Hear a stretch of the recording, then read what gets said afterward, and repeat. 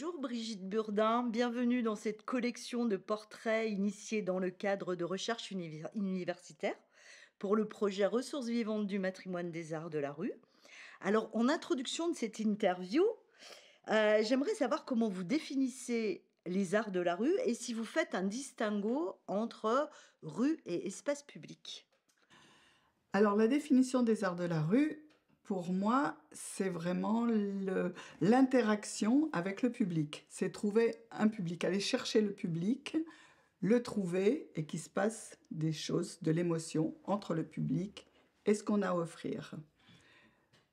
Euh, donc en extérieur, bien sûr. Euh, Le, le fait que hum, espace public ou art de la rue, peut-être j'aurai une réflexion plus tardive, mais au début, comme ça, non, je ne fais pas de différence. Je, pour moi, ce sont les arts de la rue. L'espace public, ça a été euh, un terme inventé un peu plus tard. Et alors, comment ça résonne pour vous euh, le mot matrimoine? Alors, matrimoine, euh, jusqu'à il y a peu de temps, ça ne résonnait pas pour moi, parce que je connaissais ce mot euh, du Moyen Âge, on va dire. Mais matrimoine culturel, j'ai cherché à savoir qu'est-ce qui se passait, pourquoi il revenait. Voilà, parce que pour moi, c'était lié, euh, le matrimoine, c'était lié euh, euh, au mariage et à la mère. Voilà. D'accord, c'est intéressant. Et, et ressources vivantes? Alors, ressources vivantes, euh, est-ce que vous voulez dire ressources humaines ou pour moi ça évoque les ressources humaines. Oui, tu es, tu es, tu, tu offres, oui, l'humanité. Tu offres tes ressources humaines. Et alors, c'est quoi votre ressenti, votre ressenti d'avoir été choisi pour participer à ce projet comme ressources vivantes euh, pour ce matrimoine des arts de la Ah, je suis super heureuse. Je me suis dit, je suis pas quelqu'un de très expansif, mais je suis, euh, j'ai- j'aime bien me situer et être présente là où il faut. Et, euh, et, et du coup, de me retrouver là, je l'espérais et j'en suis euh, vraiment heureuse, tout simplement. Génial. Alors, euh, et nous aussi, on est ravis. Et du coup, euh, pour euh, donc faire cette étude, on a besoin un petit peu de comprendre d'où vous venez, comment vous en arrivez à faire cette carrière absolument énorme. Et donc, du coup, on a besoin d'arriver à décrypter tout ça. Donc, je vais commencer par vous interroger euh, sur votre famille. Et j'aurais besoin de savoir si vous avez, euh, euh, si vous avez connu vos grands-parents, paternels et maternels, et un peu situé quel métier ils, exerçaient, quel niveau d'études, un petit peu savoir dans quel type d'environnement géographique, à la campagne, à la ville, et puis qu'est-ce qu'ils vous ont transmis? Grande affaire. Alors oui, j'ai connu euh, mes quatre grands-parents. Du côté euh, matrimonial, euh, une famille d'émigrés italiens. Donc mon grand-père est arrivé d'abord, je sais, sur la ville de Bordeaux, et puis ensuite en Saône-et-Loire. Voilà. Donc eux étaient émigrés, ils étaient des frères à être euh, venus ensemble et au niveau boulot, ils ont inventé des cuves en ciment pour le vin. Donc euh, ça n'existait pas, en tout cas dans, dans la, dans la contrée bordelaise. Donc ils ont inventé et offert ça. Ça a bien marché. Euh, du Ils étaient entrepreneurs du coup ou- oui, ils étaient entrepreneurs du coup. Ils n'avaient rien, mais ils sont devenus entrepreneurs par leur invention. Euh, du côté paternel, euh, ce sont des, paysans. Enfin, un, petit lopin de terre et euh, d'origine bohémienne. Donc, ils ont installé à la campagne, en Saône-et-Loire également, un lieu pour les gens du voyage, où ils vendaient euh, l'huile, le charbon, euh, tout ce qui était la mercerie, euh, bien sûr tout ce qui était épicerie, mais plus, plus, plus. Et c'est ma grand-mère qui s'occupait de ça. Donc il y avait un terrain pour recevoir euh, les roulottes Et voilà. Et moi, gamine, eh j'ai vraiment euh, vécu ça. J'ai encore le, son de la cloche des chiens euh, sous les roulottes. euh, voilà. Et c'était immense. C'était une grande ouverture.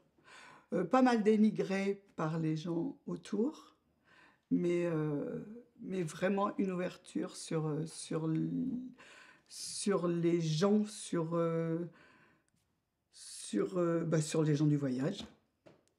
Et alors, du coup, votre grand-mère du côté maternel, du coup, elle faisait quoi, si vous l'avez pas précisé? Alors, euh, la grand-mère du côté maternel, elle était ce qu'on appelle femme au foyer, mais c'était une femme très, très délurée. C'est-à-dire? C'est-à-dire que elle a fait ma maman avant de se marier. Euh, elle, euh, elle après, après, elle a, elle a, il y avait un peu d'argent, donc elle, elle a vadrouillé avec mon grand-père dans des, dans des hôtels comme à Vichy. euh, ils se sont fait des relations assez, assez modernes, pas modernes, assez mondaines et assez euh, coquines. Ah, c'est un beau patrimoine, tout ça, ou matrimoine, ou je ne sais pas, mais en tout cas, c'est un bel héritage. Et alors, du côté de vos parents? Alors, du côté de mes parents, euh, ils se sont donc connus en Saône-et-Loire, puisque toutes les familles habi- habitaient la Saône-et-Loire. Mon père, fils de, de, ce- de ces paysans, euh, travaillait avec eux. Et maman euh, avait commencé de travailler dans une usine, euh, voilà, là, près, près d'où habitaient mes grands-parents. Ils se sont rencontrés en Saône-et-Loire. Mon alors, comme ça se faisait, ma mère et mon père ont vécu euh, un moment avec les grands-parents paternels. Ça s'est pas bien passé avec euh, ma mère et ses beaux-parents. Et maman, qui était aussi une femme assez discrète, mais très très tenace dans ses envies, dans son, dans son regard et dans sa tête, euh, à un moment donné, a dit Ok, si on sort pas de cette situation, euh, je pars avec euh, mon frère aîné, voilà, qui était déjà né, et je, pars, je, m'en vais. Donc, allez, hop, le père, mon père s'est remué les fesses et il a trouvé euh, euh, un, petit, un tout petit appart, trois pièces, euh, à Roanne, donc juste à côté de la Saône-et-Loire, dans la Loire. Et il a dit, bah, il, faut, que je, fasse quelque chose. Il est devenu représentant, d'abord en bonbons, ensuite euh, il a fait toute sa carrière, on peut dire ça comme ça, dans la, représentation euh, d'objets, euh, ah, comment on va dire ça, Hmm, d'objets cadeaux, de cadeaux qui venaient surtout de la Chine. Donc ça a été des- les premières histoires euh, import-export, mais avec, euh, avec des patrons. D'accord. Et alors, euh, votre fratrie, c'est quoi? Et pareil, qu'est-ce qu'ils font, vos frères et sœurs? Alors, je suis la seule fille et j'avais, parce qu'il y en a un qui est décédé, trois frères. En plus grand, plus jeune? Alors, je suis la troisième, deux frères aînés et un petit frère. Euh, vraiment, je, oui, je, je précise ça, heureuse d'avoir eu trois frères. Vraiment, là, la- une vie euh, trépidante de, de garçons et, et- et- et énormément dans la rue. On y reviendra. Et du coup, ils ont fait quoi comme métier? Alors, quoi, euh, ils sont, ils sont, ils n'ont, eux, ils n'ont eu que le certificat d'études. Euh, un a été plâtrier peintre, celui l'aîné qui est décédé. Euh, Pascal le second a été lad puis jockey à Chantilly. Ensuite, euh, c'était ma pomme. Et Patrice est paysagiste. Il a fait des études, euh, non, jusqu'au certificat aussi, après une, école de, paysagisme. D'accord. Et alors, euh, est-ce que dans votre entourage euh, familial ou proche, il y avait des gens euh, qui appartenaient au secteur culturel? ou qui avait une pratique artistique, quelconque dans cet univers, voilà, un peu, quand même très Du émouvant? tout, du tout, du tout, du tout. Moi j'ai comme je l'ai dit, on était dans un tout petit appart avec 3 pièces, on a vécu à 6 là-dedans. Et donc on était dans la rue, la rue, la rue. On était à Roanne, dans un quartier qui s'appelle Mulsanne. Et on avait, heu heu, une espèce de circuit dans la rue, tous les gamins. Et voilà. Et j'ai couru et j'ai fait du patin à roulettes et j'étais, heu, tout le temps, heu, à faire des records avec des gars, qu'avec des gars. D'accord et c'était quoi les activités partagées en famille, heu, pendant les vacances ou ou je sais pas, aller au cinéma, au théâtre ou alors aller, heu, aller des heu, manger en Mmh. famille ou Mmh. Mmh. Alors justement, pas du tout de culture avec un C, un grand C, mais l'art de la fête, alors là, j'ai tout appris. Mon père a un boute-en-train, on avait toutes les toutes les fêtes familiales, heu, c'est des des superbes moments et des superbes souvenirs où tout le monde faisait la fête, où tout le monde chantait après le banquet, où, heu, on finissait sur les tables, quoi et c'était normal et ça dansait et voilà et le musette et les valses et tout ça, quoi. Génial. Et les vacances?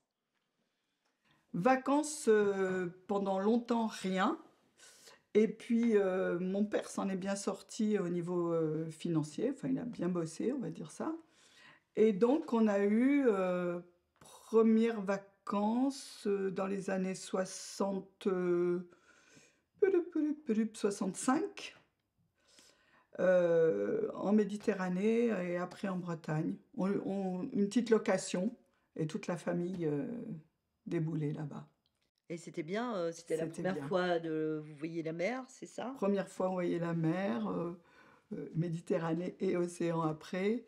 Heu, ouais, c'était vraiment, vraiment bien. C'était l Et vous avez un souvenir de ce dépaysement, heu, plus précis sur la le fait de d'a d'avoir l'impression de sortir de sa zone géographique, heu, le le trajet, heu? Le trajet, oui, le trajet, la 7 En voiture? en voiture. Avec une Ah oui, caravane? parce que mon père était représentant, il avait une voiture et tout de suite, il a eu une voiture, quoi, 203 en avant et heu, pas de caravane, non, location et la route, ouais, la route du sud, heu, voilà. On était dans le Midi après Montélimar. Ça, c'était cool et puis la Bretagne, la Bretagne, heu, alors là, découverte, presque d'un autre pays parce qu'on était en location, c'était une vieille bretonne qui nous faisait la location et cette vieille bretonne, c'était, bah, c'était une bigoudaine, tu vois un peu l'image qu'on a? Et ben, c'était cette image-là, quoi. Donc heu, quand je raconte ça, j'ai l'impression d'être centenaire, mais non, c'était ça. Donc oui, ah! Il y a un autre pays, y a les les vieilles sont pas habi habi habillées comme chez nous, heu, ça parle pas pareil, heu, voilà. Sans trop se poser de questions, juste écouter, voir, dire: «Ah! Il y a autre chose». Et donc du coup, dans cette période, heu, de l'enfance, de l'adolescence, c'était quoi vos activités extra extrascolaires? Est-ce que vous avez fait de la danse, du sport, heu? Perso? Oui, oui. Ouais, ah oui, alors, la danse la danse, bon, dans la famille, tout le monde dit ça. Brigitte, elle était au cours de danse à 3 ans parce que ma mère voulait, heu, faire de la danse et qu'elle n'a jamais pu le faire et il est vrai qu'à l'âge de 3 ans, elle m'a mis dans un cours de danse. De danse classique, contemporaine? Danse rythmique. Attention. Et de quel âge à quel âge vous avez fait de la danse à peu Bah, près? après moi j'ai pu arrêter parce que ça m'a bien bottée et heu, tout toute le tout tout le lycée, heu, j'ai pris les cours de danse. Et vous avez fait d'autres choses, du sport ou? Non, c'était la danse et c'était, heu heu, le sport, je le faisais dans la rue avec mes frères, quoi. Patin à roulettes, beaucoup, beaucoup. Et vous avez eu l'occasion, dans le cadre de cette pratique, je sais pas, de faire des des galas de fin d'année et d'être, pour une fois, heu, exposée au public? Bravo! Bravo! Bien bien vu! Parce que très vite, nous faisions à Rouen, donc dans la Loire. Euh, nous étions, euh, comment on va dire ça? Pas volontaires, mais bénévoles. Et notre prof de danse nous emmenait dans les opérettes. Donc j'ai côtoyé, je sais, des, des chanteurs d'opérettes euh, connus. Je ne me souviens plus du tout, mais en tout cas, nous faisions toute la partie de danse rythmique ou, ou comment dit-on, des, les, les, les, les, les, petites danseuses qui passaient, qui allaient cueillir. la figuration. voilà, la figuration, merci. La figuration. Et par contre, ça, je n'oublierai jamais. Théâtre de Rouen, première fois que tu es sur la scène, ça, oui, c'est resté en moi très fort. Et alors, c'était quoi le sentiment par rapport au public? Est-ce que ce public, il avait une existence réelle? Est-ce que vous avez eu des retours ou est-ce que c'était un peu loin? Une forme d'inconscience? C'était quoi cette première expérience? C'était loin, c'était noir.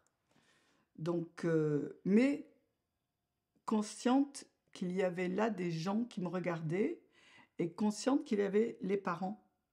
Donc, je cherchais à voir et à percevoir les gens que je connaissais. Et du coup, vous étiez, vous étiez bien soutenu par votre famille dans ces activités-là? Ouais. Ils vous emmenaient, par exemple, parce que j'imagine qu'il y a un certain moment où vous n'êtes pas en capacité de vous déplacer seul. Comment ça se passe au niveau mhm. de la mobilité euh? Oui, oui, oui, ils m'emmenaient, oui, oui, ils m'emmenaient, mais très vite, comme on était quand même quatre gamins, mon père représentant donc pas du tout à la maison, ça c'était bien, euh, alors que je, je l'adorais, mais bon, c'est bien d'être euh, indépendante de, du père. Et, euh, et, du coup, bah, très vite, euh, même, même euh, encore en primaire, je prenais le bus toute seule. voilà, aller en avant. hop, on m'expliquait comment prendre le bus. Et puis, j'étais haute comme trois pommes et je prenais le bus pour aller, pour aller à l'école. qui était Donc une autonomie assez rapide, en fait. Ouais, ouais, un peu obligée. D'accord. Mais voilà, quand, quand tu es dans la rue et quand tu es avec euh, plein de, de, de, mecs, d'amis, de, frères, euh, ça va, tu te débrouilles bien. Et alors, est-ce que dans le cadre de ces activités, vous avez pu avoir euh, une éducation religieuse? Est-ce que vous avez fait partie de, ben, de groupes type scoutisme ou jeunesse catholique ou, populaire, ou communiste au niveau politique, etc. Comment ça se passe à cet endroit-là, on va dire spiritualité et politique? Est-ce qu'il y a une éducation à cet endroit-là qui, qui s'active ou pas du tout? Oui, d'un côté plus politique parce que grand-père paternel et mon père communiste. Donc oui, oui, j'ai vécu très actif. Donc j'ai vécu très jeune chez les grands-parents les réunions communistes. Euh, pareil, très, très beau souvenir euh, humainement. Euh, par contre, moi, titillée par le, par le spirituel, je suis allée seule. j'ai voulu seule prendre les cours de catéchisme, j'ai voulu seule aller voir ce que c'était qu'une messe. Voilà, j'ai fait ça jusqu'à ma communion que j'ai faite. Bon, après, c'est vite passé.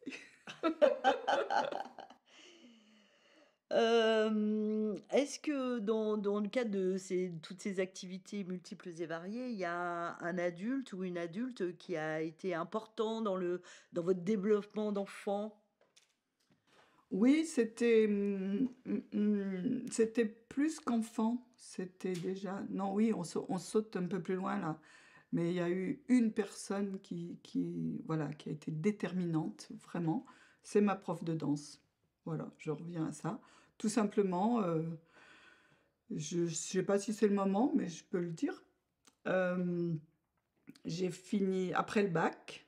J'étais inscrite, euh, j'ai passé des, concours pour être laborantine sur Saint-Étienne. J'ai été reçue, je devais rentrer, soit comme étudiante pour être laborantin et laborantine, euh, soit euh, inscrite en fac de droit à Lyon. Je ne savais pas quoi faire et voilà, mon père disait oh, ça doit être bien. Et puis voilà, j'ai craqué pendant l'été. J'ai dit je ne veux absolument pas faire ça, ni, ni laborantine, ni, ni la fac de droit, ni être à Lyon, surtout pas. Et euh, ça a été un grand moment de solitude et de réflexion. Et j'ai dit, il il y a une femme à qui je peux en parler, c'est euh, s'appelait Madame Papé. Et je suis allée la voir et je lui ai dit, je veux continuer la danse. Elle m'a dit, mais voilà, euh, c'était au mois d'août, je rentrais en fac euh, le 9 septembre. Ah non, bon, elle m'a dit, si tu veux, je vais parler avec, euh, avec toi, à tes parents. Et on est allés toutes les deux. Je vous la fais courte, on a discuté. Mes parents ont toujours été très ouverts. Ils ont accepté parce que c'était avec elle. Et le 9 septembre, au lieu de rentrer en fac avec son combi VV, nous sommes allés à la Vollwang Hochschule, à 900 km de là, sur la Ruhr, en Allemagne, à Essen-Werden. Et elle m'a emmenée. J'ai dormi de Rouen à, à Essen. Et elle m'a dit, elle avait dit à mes parents, je ne la lâcherai pas parce qu'elle connaissait cette université de danse, qui n'est pas que de la danse d'ailleurs, enfin une énorme université là-bas. Je ne lâcherai pas Brigitte tant qu'elle n'aura pas une chambre et qu'elle sera reçue, qu'elle soit, qu'elle sera, qu'elle soit euh, autorisée, quoi, qu'elle soit, puisque tous les examens étaient terminés. Donc, euh, elle m'a fait passer les examens, les auditions par chaque professeur parce qu'elle les connaissait. Et elle m'a trouvé une, chambre d'étudiante et, je suis restée là-bas. J'ai fait mes études là-bas. Et alors, quand vous étiez en, en revenant un petit peu en arrière, du coup, quand vous étiez euh, donc euh, plutôt dans un parcours euh, primaire euh, jusqu'au secondaire, est-ce que vous avez le souvenir euh, de euh, d'œuvres euh, marquantes? Est-ce que vous lisiez, par exemple? Et c'était quoi vos, vos, vous aviez pas de spécialement de pratiques euh, culturelles? euh? Non, de, de, de ce moment-là, ce qui était fort pour moi, c'était, j'étais la seule de la famille, enfin, je ne connaissais pas encore ce qu'allait faire mon petit frère, mais jusque-là, j'étais la seule à avoir fait des études secondaires. Donc c'était déjà énorme. Et, euh, et c'était un lycée public, donc euh, lycée Jules Ferry, Où et ça, c'était à Rouen? à Rouen, et que de filles au départ. En première, ça a été mixte, mais lycée de filles euh, public. Et, c'était déjà énorme, et pour moi et pour mes parents. Donc, euh, ils me renvoyaient ça. Ah ben, toi, tu fais des études, euh, tu fais des études, quoi. Donc, moi, je m'appliquais à ça. Je m'appliquais à ça. Donc, j'avais pas. euh, et la danse, voilà, ça, et la danse. Mais j'avais pas d'autres. non, il n'y avait pas d'autres choses qui me qui m'ont sauté comme ça. Euh. Oui, qui ont fait Ouais, acte de révélation, ouais, tout non, ça. non, non, non. C'est plus le parcours de, oui, de voilà, formation. de euh, formation, il fallait que je fasse bien. C'était un peu une contrainte d'ailleurs. euh, on- Bon, toi tu, toi, tu le fais, quoi. Bon, Ah ouais, je vais le faire. Et alors, comment ça se décide euh, Justement, vous êtes quel type d'élève là De la primaire, collège, lycée euh, Comment ça se décide Comment vous êtes euh, accompagné pour en arriver là euh, Comment ça se décide à cette époque-là avec euh, Euh, je suis élève moyenne. Je fais tout ce qu'il faut pour être au-dessus de la moyenne. Et je le suis. Ça, ça marche bien. Et dans le sens où vous me posez la question, il y a une remarque qui m'a toujours... euh, que je n'ai jamais oubliée. Vous savez, avec les élèves, on, faisait... euh, ah ben celle-ci, ou celle-ci en l'occurrence, puisqu'il y avait des filles, celle-ci, euh, elle a tel défaut, celle-ci, elle a tel défaut. On s'amusait comme ça dans la classe à faire ça. Et moi, ils n'ont jamais pu trouver un défaut. Non, mais, mais vous vous rendez compte? Ça m'a, ça m'a, C'est incroyable parce qu'après, on se disait tout ça. Et là, ben non, Brigitte, on sait pas. On sait pas quoi dire. Non. Elle n'a pas. Non, non, sait pas. Jamais oublié.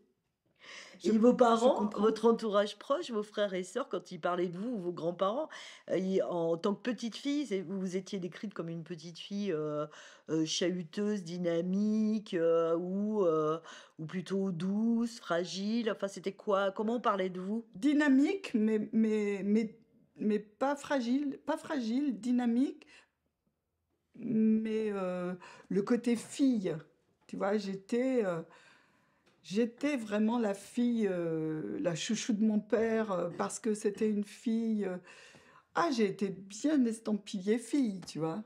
Et ouais, douce. Non, pas vraiment douce, mais, mais elle fait les choses bien. Elle est moyenne et elle est, elle est, elle est bien, cette petite. Et au niveau comportement, alors du coup, à l'école, là, j'entends plutôt sage ou plutôt dissipé? Sage. Sage, d'accord. Et euh, au niveau de, des matières que vous avez, euh, de- bon, auxquelles vous avez été confronté euh, dans le parcours scolaire, c'était Oui. quoi? Est-ce que vous préfériez? Est-ce que vous aimiez Le moins? littéraire, ça c'est sûr. euh, littéraire, littéraire, j'étais bien. Je, je participais. euh, les maths, zéro, mais zéro, zéro. Euh, jusqu'à ce que, jusqu'au bac où je me suis pris une tôle en maths, euh, je sais plus, un 3 ou un truc comme ça. Donc, euh, donc du coup, euh, rattrapage, du coup, euh, le bac euh, au rattrapage. Et, mais un prof de maths génial que j'ai vu tout de suite après avoir eu le bac et qui je lui explique que je, je vais aller, je vais aller en Allemagne étudier la danse. Et génial, elle m'a dit, mais, mais c'est ça, c'est ça qu'il faut pour vous, Brigitte, c'est ça. Donc bravo. Je, je vous ai fait bien souffrir, mais je suis tellement heureuse que vous, vous alliez vers, faire autre chose. C'était chouette. Ouais, c'est chouette. Et euh, est-ce que vous avez été délégué de classe? Oui, plusieurs fois ou? Euh, sixième, cinquième, oui, oui, plusieurs fois. vous étiez assez populaire du coup? euh. C'est le mot. Est-ce que vous avez été interne hein, ou jamais? Non, j'étais de, de la onzième, alors vous imaginez, dans le même lycée, parce qu'ils faisaient aussi les petites, petites classes, tu vois. Alors, onzième euh, terminale, demi-pensionnaire. Ah, les euh, j'ai connu. Et alors, vous nous avez parlé effectivement de ce lycée où effectivement il n'y a pas de mixité pendant un certain temps euh, dans- à, à cette époque-là. Et du coup, comment ça se passe le- l'arrivée de la mixité? Parce que c'est intéressant par rapport à notre sujet. On est Hmm, vraiment sur un temps qui est là, bon, on n'est Très, plus dans ces réalités-là. Du coup, c'est intéressant pour nous ouais, de. très, très juste et très bonne question. Ça a été euh, oh, la révélation. Ça a été euh, l'éveil, euh, l'éveil des sens. Ah Et ouais? ouais, et ouais. Imagine jusqu'en première, quoi. Donc première terminale, on découvre tout, tout, tout du, du- du sens, euh, du, du sexe, euh, tout quoi. Ah oui, c'était chaud alors. Ouais, c'était chaud. Mais pas, mais pas avant, ça veut dire 17 ans, tu vois. 17, euh, 17, dix- 17 et demi, euh, avant rien, et d'un coup, t'as les mecs là. Ça se passe plutôt bien, dans les deux bien. sens. euh, Ouais, plutôt bien, parce que les mecs étaient encore plus, je crois, plus... Hmm.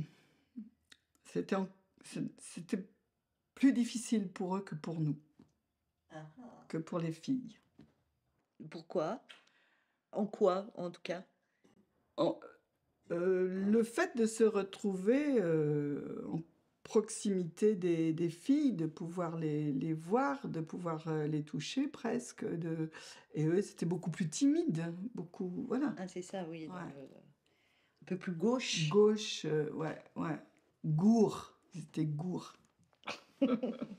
Et alors, pour revenir sur cette période-là, euh, donc vous avez la pratique de la danse, la pratique de la danse. Et cette pratique de la danse, est-ce que vous pouvez me la préciser un peu pendant tout ce parcours-là? Dans quel type de cadre? Est-ce que c'est MJC? Est-ce que c'est en compagnie? Ou est-ce que c'est euh, une école de danse euh, privée? C'est quoi, le cadre de 3 à euh, 18 ans, on va dire, 18 ans, jusqu'à, ouais. jusqu'au bac à peu Ouais. près? Euh, c'est école privée. Enfin, au début, c'est rythmique, donc, mais c'est privé aussi. Et ensuite, euh, avec cette prof, euh, j'ai vraiment eu un parcours, euh, une formation, vraiment une formation, parce qu'elle, c'était du collège jusqu'à jusqu'à 18 ans, quoi. Donc, danse, euh, danse contemporaine, début de la danse contemporaine, danse moderne, et grande influence sur euh, euh, la partie yoga aussi, euh, respiration, tout ça. Et puis elle, elle allait vraiment vers le contemporain. D'accord et dans le cadre de votre expérience de scène, heu, au théâtre de Roanne, est-ce qu'à l'inverse, vous avez été amenés à aller voir des spectacles à cette période-là, à de l'autre côté de la barrière, j'ai envie de dire? Est-ce que ça vous est arrivé? C'est quoi votre premier souvenir de spectacle, peut-être? Alors, non, pas de spectacle parce que la famille, on n'y allait pas, quoi. Mais, heu, comment on appelait ça? Le ciné, heu, cinéma comment on appelait ça? Heu, les premiers films, oh, il y a un nom qui ne me revient pas. Ciné en alternatif, en marge un peu, où je me souviens avoir vu Nuit et brouillard, où je me souviens avoir vu, alors c'est un petit peu après, Blow Up. Donc des choses comme ça, assez marginales et et qui m'ont nourrie. Ouais, c'est c'est dans le cinéma d'art d'essai, c'est ça que vous cherchez? essai, merci. Ouais, ouais, c'est ça. c'est ça. OK. Donc heu, le bac, le rattrapage, les le grandes rattrapage. angoisses, heu, la sueur froide, je vais Ouais, l'avoir, je vais pas l'avoir et ça y est, bing, ça y est, le nom est sur l'affiche et donc ouais, c'est cool, on respire bon, on respire. et heu, là, du coup, vous nous parlez de donc de cette inscription à la fac, heu, de ce truc de laborantin, oui, non et puis, de ce mal-être donc et vous arrivez à Essen. Donc on reprend à partir de là. Donc vous avez quel âge à ce moment-là? 18. 17 18 et demi ou 18, je sais plus. D'accord et c'est un cursus qui dure combien de temps? 3 ans normalement, j'ai fait 2 ans, un petit peu plus de 2 ans, D'accord. mais 3 ans normalement dans cette, enfin formation danse et j'arrive, heu, bon comme ça si ça peut être important pour la suite, j'arrive, heu, la dernière année où où était Pina Bausch. Donc moi j'arrive en première année, elle elle, heu, elle était déjà heu, chorégraphe de l'ensemble, du service, j'allais dire oui, le service, on peut dire ça comme ça, danse dans cette, université d'art et donc donc très vite, j'ai voilà, je participe à des chorégraphies mises en chorégraphie par, Pina Bausch, très différentes, mais voilà, là c'est un grand coup pour moi. Oui et puis alors comment vous négociez avec la langue? Vous aviez, heu, étudié, heu, l'allemand? Comment ça se passe? Ouais, j'ai étudié l'allemand, heu, 1 langue, mais ça s'est très, très mal passé. Je c'était tellement vous imaginez, c'était tellement de choses à la fois, quoi. 900 bornes de chez soi, l'université, la danse, la langue, heu, enfin vraiment c'était donc pendant 6 mois, j'ai été aphone et je n'ai pas parlé. J'ai juste écouté et dansé et fait mes cours, heu, oui, heu, par écrit et en allemand. Voilà, 6 mois. Waouh J'en ai j'en ai très rarement parlé. Et à ce moment-là, vous habitez où alors? Comment ça se Bah, solutionne dans cette histoire dans de ma petite chambre, heu, dans ma petite chambre au-dessus de la Gasthaus que m'avait trouvée, heu, ma prof de danse. et financièrement, comment ça se négocie à ce moment-là? C'est vos parents qui payent, heu Non, mon mon père, heu, ouais, était d'accord pour payer à Lyon ou à Saint-Étienne, mais il m'a dit, heu, une phrase qui retentit encore: «Si tu es mal, si tu si s'il y a un gros problème, si, heu, on est là. On est là, on est là. Tout de suite, tu fais signe, on est là. Mais tu tu veux être là-bas, tu veux faire de la danse, en gros, tu te démerdes». C'était pas c'était pas, heu, c'était pas méchant. Je l'ai toujours bien pris cette phrase-là. Donc, heu, arrivée en Allemagne alors que je je disais pas un mot, bref, il fallait que je trouve du boulot. Par contre, petite parenthèse, hem, dans les universités allemandes, heu, tu as à manger, c'est-à-dire on te paye à manger et on te paye, heu, le chauffage de ta chambre. Ça, c'est pris en charge par l'université ou par l'État, j'en sais rien et donc voilà, ils considèrent qu'un étudiant, ça doit, ça doit avoir chaud et ça doit manger pour pouvoir étudier. Ça, c'est pareil, c'est des choses que j'ai jamais oubliées, bravo. Donc, euh, j'avais tout ça.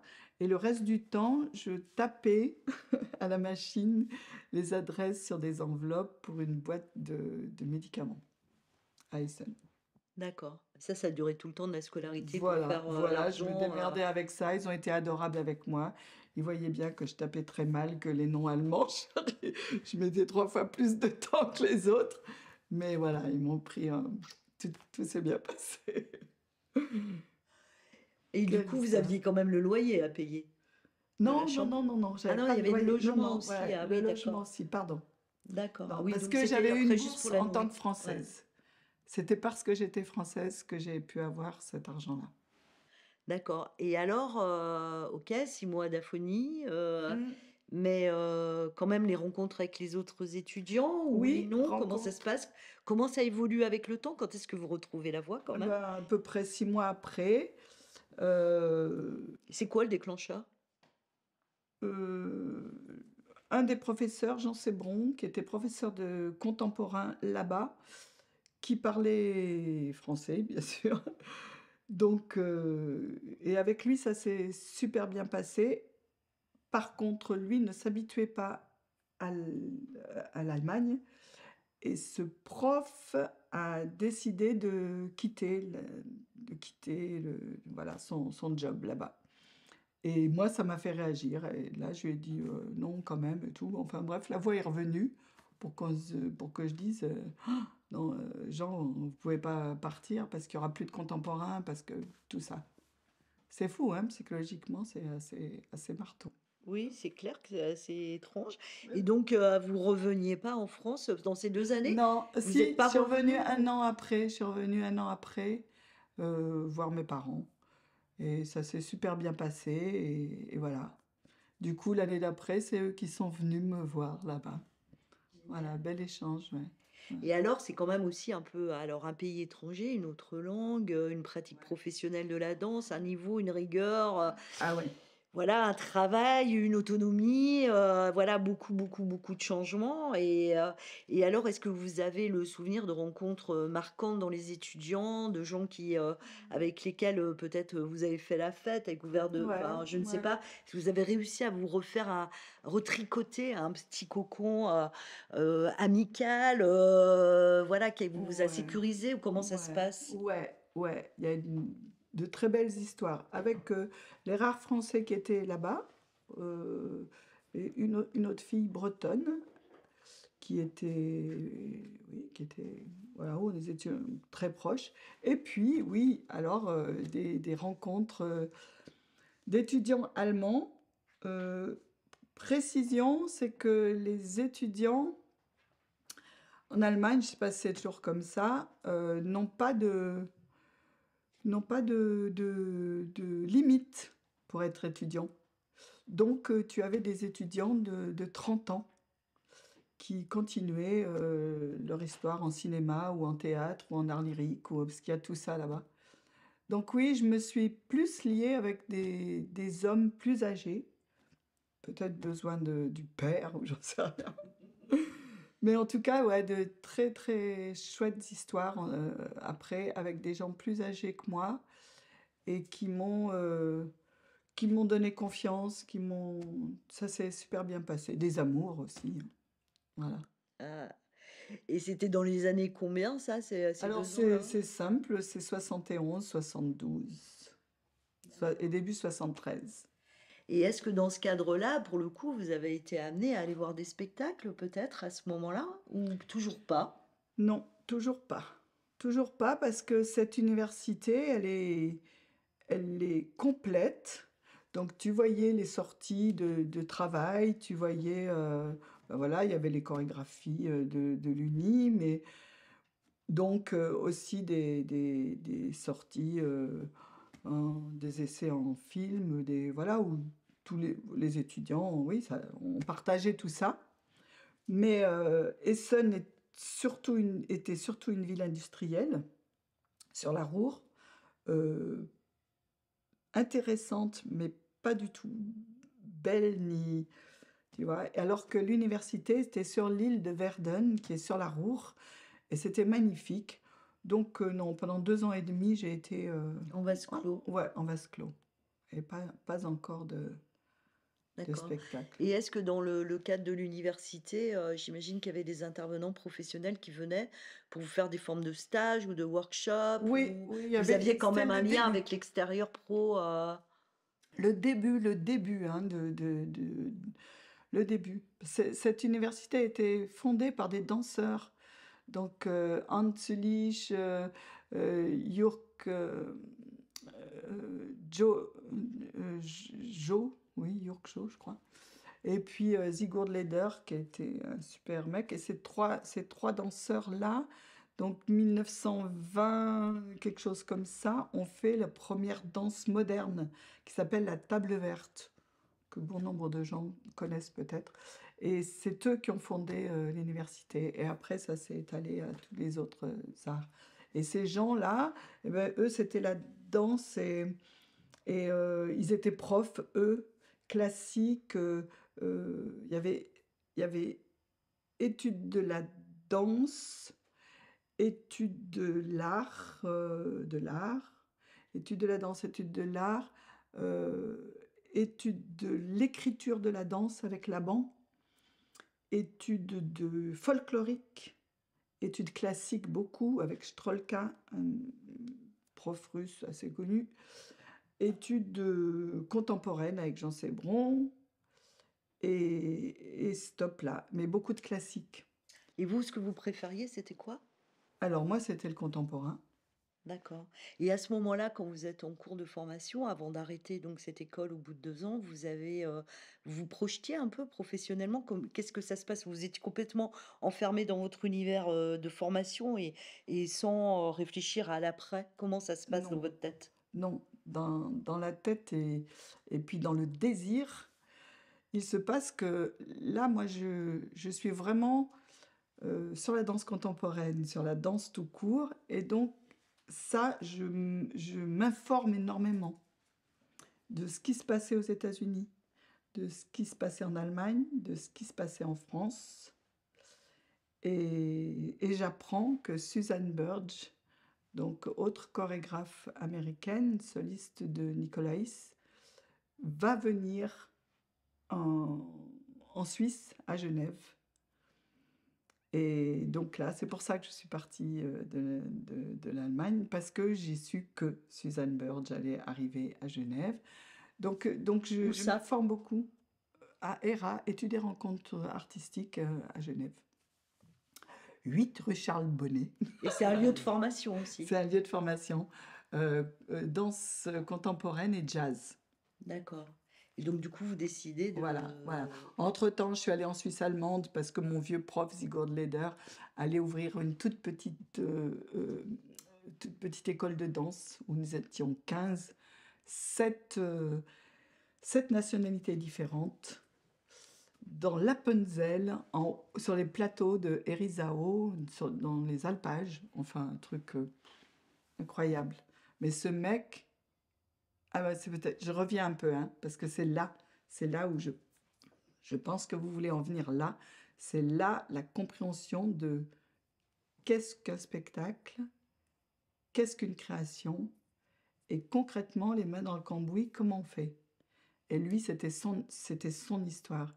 Donc ce mec, il nous, enseignait la technique, il avait plus de 80 ballets, et, euh, et il nous disait, euh, bon, cette semaine et pendant 15 jours, on était 15, toi, tu fais ta création, toi, tu seras aux éclairages, toi, tu seras régisseur plateau, toi, tu seras au costume, toi, tu seras au masque, toi, tu seras spectateur, toi, tu seras producteur. Voilà, allez, on y va, 15 jours. C'est le, le créateur qui est, vous êtes au service du créateur. C'est parti. Voilà. Là, oui, là, tu vois. Ouais, clair. Là, tu comprends ce qui se passe. Là, c'est là, c'est là, en fait, c'est là le. Voilà. Et c'est après que je suis allée, que je, je savais que Suzanne Burge arrivait euh, et que je suis allée à Genève. Et donc alors après Genève? Et après, Genève. Et là, qu'est-ce qui se passe? Combien de temps ça dure? Je, Genève, ça dure euh, deux ans. Oui, je sais pas. En même temps, c'était formation longue durée, déjà, qui, existait, et, compagnie, puisqu'elle, du coup, elle a pris dans, ses élèves euh, pour monter une compagnie, une, petite dizaine, et où on a commencé de donner des chorégraphies dans les musées euh, genevois, dans les parcs genevois, dans les... C'était contemporain, c'était assez avant-gardiste, elle, elle arrivait directement de, des États-Unis où, où, elle nous racontait des, des créations qui, moi, me, me fascinaient, quoi. Donc voilà, c'était... Et alors, est-ce que c'est le premier moment de la rémunération? Non, pas encore. Là, c'est encore bénévole. Et donc, du coup, au niveau euh, bah, économique, eh encore la ben, même question. Comment ça se passe? Parce que ben, la Suisse, c'est pas donné non plus. On arrive à la... au bon. Alors, je vivais en France. Nous vivions avec euh, cette autre fille euh, qui m'a suivie, euh, la Bretonne en question, qui était aussi à la Folvangor-Schule. toutes les deux, on vivait en France, dans une ferme à la campagne, à la frontière suisse, et on bossait à Genève dans les centres de loisirs. Ça s'appelle des centres de loisirs pour les gamins qui sont pas dans la rue, parce qu'à Genève, les gamins ne sont pas des gamins de rue. Mais disons que le soir, quand ils pouvaient pas rentrer, pas mal d'émigrés quand même, eh bien, ils venaient dans le, dans le centre de loisirs. Et nous, on faisait les animations, euh, aussi bien euh, sociales, humaines, que moi avec la danse, euh, Annick aussi avec la danse. Et ensuite, c'est ça qui vous a permis de, de bah, euh, à vos besoins Ah bah oui, on, vivait bien parce qu'on était payé euh, en, Suisse. et on vivait en France. Et donc, euh, à l'époque, le franc suisse, c'était quatre fois. Et c'était payant la formation avec... Oui, c'était payant la formation de études et rencontres artistiques. Mais c'était correct. Oui, c'était payant. D'accord, donc ça dure deux ans et ensuite, ce qui se passe? Ben, il se passe que Genève, euh, euh, nous sommes plusieurs à travailler dans ces centres de loisirs, euh, dont Gilles Rode, dont sa sœur, dont Gédéon Richard, qui est maintenant un chanteur lyrique. Et on se retrouve à bosser dans ces centres de loisirs. Et eux, euh, Gilles était sculpteur, donc il montait, il montait sa propre euh, association sculpture. Euh, sa chérie de l'époque était danseuse et, dansait avec Suzanne Burge aussi. et, et Gédéon était musicien. Donc on s'est tous, on s'est rencontrés dans ces centres de loisirs pour pouvoir vivre. Et là, on a rencontré ben, musique, danse, sculpture, etc. Bon, vous devinez peut-être la suite. C'est là. Et donc, c'est quoi la suite? La suite, c'est on forme une, une troupe et, euh, et, on commence à, aller euh, euh, jouer et faire la manche à La Rochelle, au Festival d'Édé. voilà, et on, on monte un spectacle au départ dans le centre de loisirs avec les mômes. Mmh voilà, ça part de là. Les centres de loisirs de Genève, parce qu'il y en a plusieurs dans différents quartiers, sont séduits par, ce, par cette création môme euh, animateur, on va dire. Euh, on était à peine professionnels, puisque c'était encore, on était encore tous presque en formation, sauf Gilles. Et, euh, et donc, nous demande de tourner à Genève et en Suisse ce, spectacle avec les gamins. D'accord. Et voilà, c'est parti. Et à partir de là, on a dit, bah, on peut en monter un autre. Et donc, euh, on, a, on a monté une compagnie qui s'appelait Salle Dingue Band. Ok.